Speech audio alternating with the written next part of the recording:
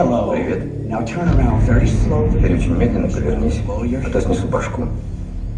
Добрый день.